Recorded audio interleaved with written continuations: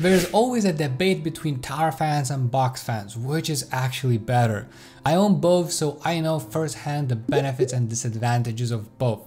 And this review isn't biased, so I'll tell exactly what type of situation they're better than the other. Let's first talk about the main differences between those two options. So the main difference between box fan and tower fans is functionality. Tower fans have a lot more functions such as speed settings, automatic timers, and it also fits with your home decor. Box fans are more powerful, they're easier to move from one room to another, and they're a lot more budget friendly. Also, some tower fans are safer and healthier as they use air purification technology. Okay, so let's first cover the benefits of a tower fan. And first is of course the one I just, I just mentioned, which is air purification. This is a health feature that helps a lot of people who suffer from asthma or breathing allergies. I would always look for this feature when buying a tower fan for my home. It makes the whole environment a lot healthier. Second benefit that it's safe. So if you have kids or pets at home, they won't fall over a tower fan like they can over a box fan. Also, there aren't any visible blades so they can touch and don't hurt themselves. Also, as they aren't that powerful, they will never overheat. Third is easy to maintain. So if you ask me, tower fans are the easiest type of fans to maintain. I personally use a vacuum cleaner every three weeks to clean them and it takes me around just five minutes. Some tower fans have a high technology features such as an automatic timer and sleeper modes. You can adjust when you want the fan to turn off completely. This is super helpful when you're going to bed at night. And of course, it helps to preserve the overall quality of the tower fan. And in case you're looking all in all best tower fan, I do recommend this specific tower fan to buy. And we do have a whole article about tower fans, so we'll link that in the description below. However, some of the things you might not like about tower fan is that they aren't powerful enough. If you're looking to cool a bigger room, it probably won't do the job as expected as it isn't near as strong as an air conditioner. Tower fans are mainly built to cool what's directly in front of them. So definitely position them in front of you while you're working at your desk and it will be cool enough for you.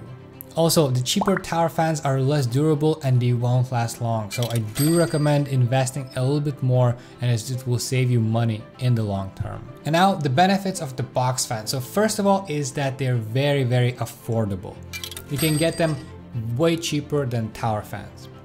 The reason for this budget friendly price isn't bad quality or anything like that, it's due to its classic and compact design. Second benefit is portability. So box fans have a built-in handle that allows you to transfer it easily from one room to another. They're also more lightweight than tower fans, so it won't be hard to carry them around. Third benefit is that they're very powerful. So some box fans are so powerful that they have over 2000 CFMs, which is pretty good. They can push air throughout the whole room instead of just blowing air in front of them. From my experience, they are way easier to cool a bigger room compared to tower fans. And fourth is efficient. So I've done my research and the monthly cost of running a box fan would be just $2. Yes, I'm serious.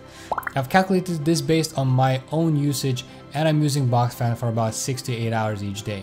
It's pretty efficient considering the power it has. And again, if you're looking for a best box fan, this Hurricane box fan is the one I do recommend because of its price, quality, and durability. However, there are some things that you might not like about a box fan. So the biggest downside is that they aren't very safe. Especially if you have small children or pets at home, try to position your box fan somewhere where they can't touch it. This is especially dangerous because they're more powerful than for example tower fans. Another thing that could frustrate you is the noise it produces. If you're planning to read a book with a turned on box fan, it might ruin your focus. I've mostly used it personally in my garage, which is a best place for a box fan. Okay, so what's the conclusion? Which one is actually better? So I've listed all of the pros and cons for both, but it's definitely very hard to tell which is better because it really depends on your situation and needs. Tower fans are a lot better for smaller rooms, they're pretty safe and you can even put them in your kids' rooms. Also, if you're only like working at a desk at home, tower fans are also better because they're quieter and they have a directional airflow which is way better for a tower fan. However, box fans are cheaper, yet they're more powerful, so you should use them in bigger areas of your home.